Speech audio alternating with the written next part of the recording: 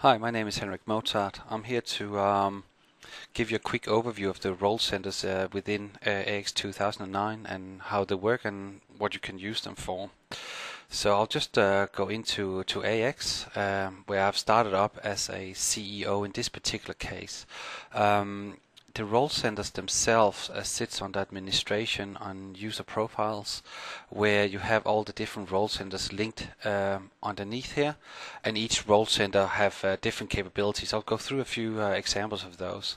It's very easy to uh, to attach users to to the profile. So you can just go into accounting managers and basically go in add user, choose from the different user IDs you have, um, and basically add them like that.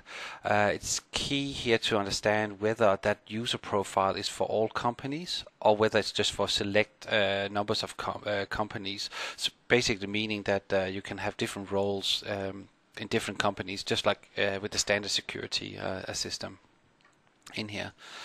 Uh, I'll just go back here. Uh, basically, the uh, the role centers themselves is SharePoint. So therefore, you will notice that if you go into the web, um, which I'll just do now, and into role center here, um, shortcutted it up, you'll see it's exactly the same KPIs that I will see and exactly the same page. It's basically SharePoint that is shown uh, within uh, the AX client.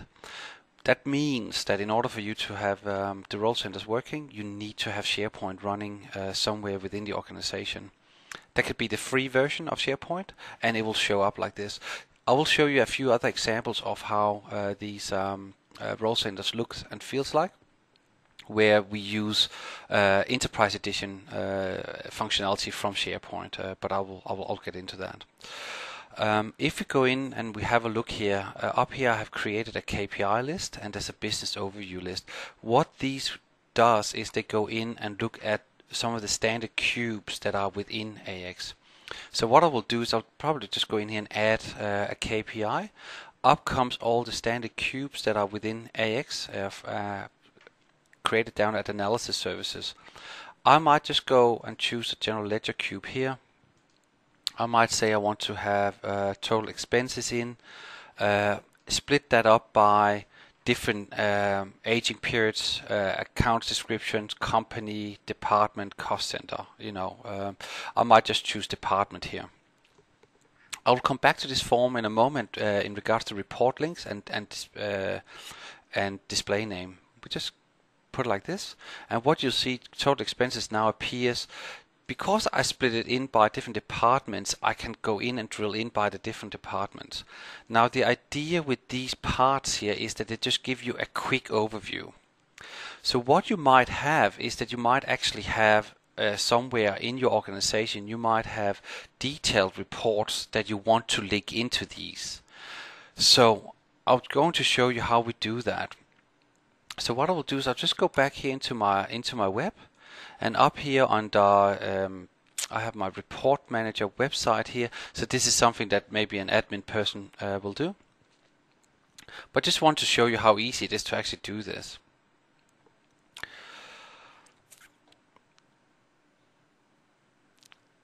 Okay, I have my Dynamics reports here. And on the Dynamics reports, uh, I will have uh, like a um, ledger profit uh, analysis as an example. So when you know where your uh, SQL reporting service reports are, all I'm going to do is go properties and basically just copy and paste this link uh, that sits here. So control C on that and then basically uh, within my AX I can now go up to I might say gross profit margin here. So I go manage KPI, choose my gross profit margin, edit and then report link simply paste what I had in there and what you will notice is now this is uh, turned blue and I can click on it and it now drills into a report. This report is probably not the, the right report for uh, for this example, but just shows you how you can uh, link uh, reports in. Reports doesn't have to necessarily be C reporting services report. So if I go back uh, to my SharePoint site here um, and just go home I have here on the sales reports as an example, I have opportunity data. And if I just quickly open that up, uh, it's an Excel spreadsheet that shows you um, opportunities actually also linked into the same analysis services cubes. Again, I can just go in, properties on it,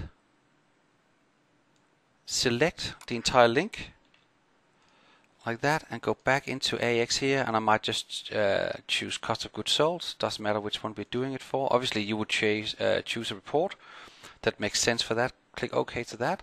And now instead of opening up uh, a single reporting service report I just open up an Excel spreadsheet. It could be a Word document. It could be a PDF there's no limit to what it is. It's basically just a URL uh, that uh, is added in there. This particular role center um, is constructed via financial KPIs, custom KPIs, uh, production KPIs, but because it's SharePoint, you can actually add any other component uh, uh, that you wish to do uh, in here.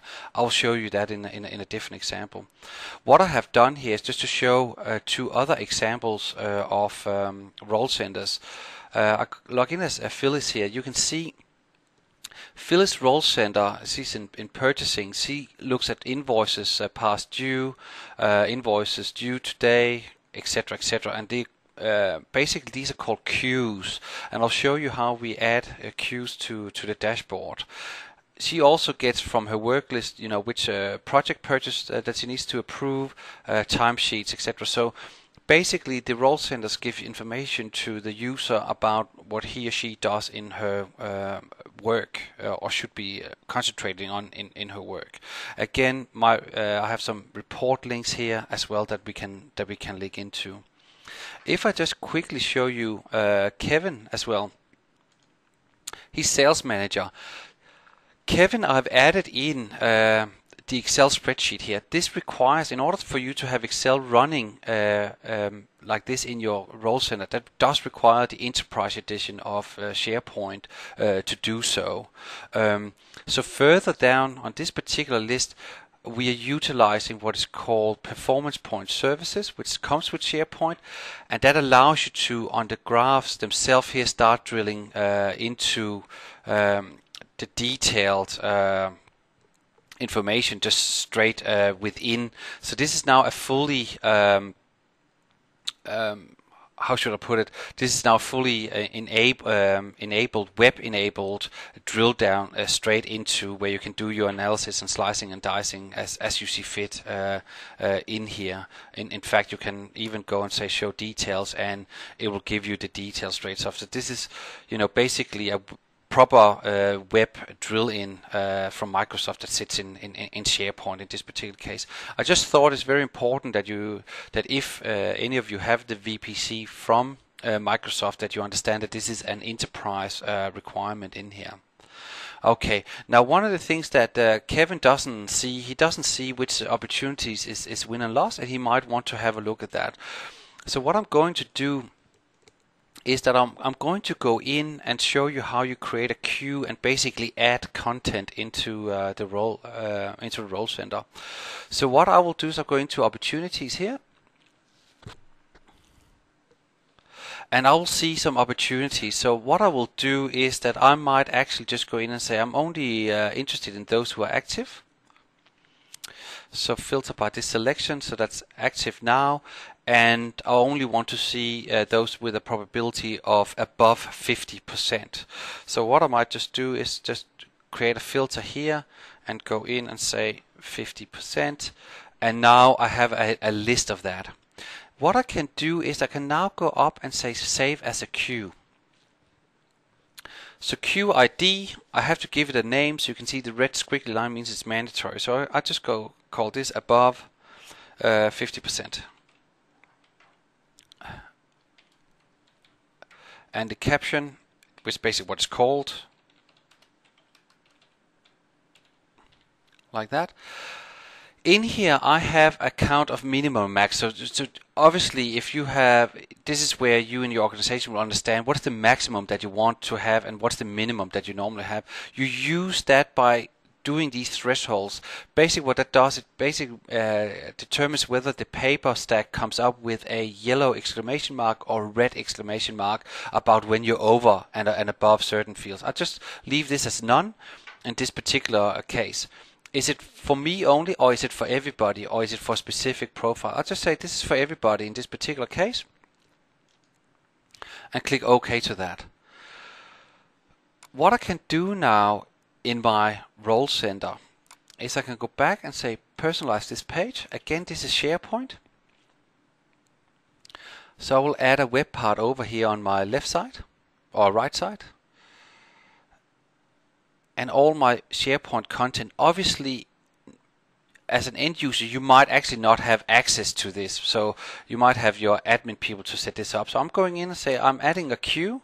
You can see it's a Dynamics, uh, Microsoft Dynamics web part, so it's not a standard um, SharePoint part. It's, it comes with with AX. And all I have to do now is just basically edit this part. Cues have uh, one limit and, and one limit only is that you can only show six cues at a time, and they're all, always named Q1 to Q6. So I'm just go Q1. What's the view that I want to see? And here comes my above 50% view. And I just say the caption automatically comes in. I can still override the threshold if I want to, but I just leave this as it is and click. Uh, and I'll just go. This is uh, CRM ops like that. Okay. And now you will see, exit uh, edit mode. Now you can see I've added a cue up here above 50%. It has a dollar value. Now what does it do? It actually does, when I click on it, it will automatically open up that form. Uh, within AX. As opportunities in this particular case comes in and the probability is set to over 50% and the active, the uh, um, the paper stack will, will will change.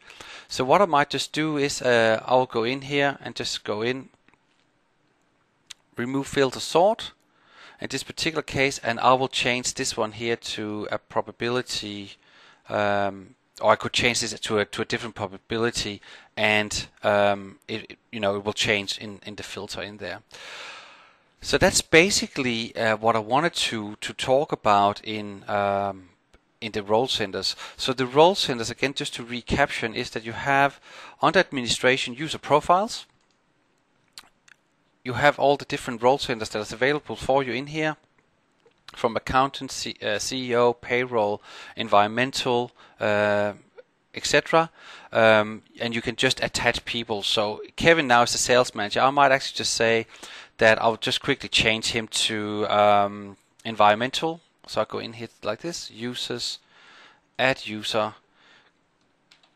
Kevin. The moment that I attach Kevin, he will be removed from the sales manager role and attached to the environmental role. You can't be part of, of two roles. You'll see that when I now refresh my, my page here, loading role centers, go yes to that. And now comes my environmental energy consumption, greenhouse gas emission, etc., etc. Okay. So that'll conclude uh, my uh, presentation uh, in this uh, around role centers. Hope you will enjoy them. Thank you very much.